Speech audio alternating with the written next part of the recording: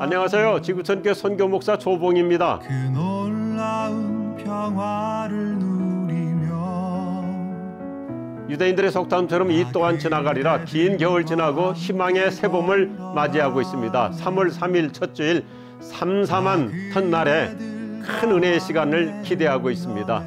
하나님께서 우리 호산학교에 은혜의 단비를 부어주실 것을 기대합니다. 시편 31편 19절에 보면 하나님은 우리를 위해서 은혜를 쌓아놓고 계시고 또 우리를 위해서 은혜를 비축해 놓고 계십니다. 그 은혜를 잘 전달해 드리겠습니다. 그리고 오후에는 우리 호산학교의 순장님들과 함께 사도행전적 마가 다락방의 부흥 현장을 공유하고자 합니다.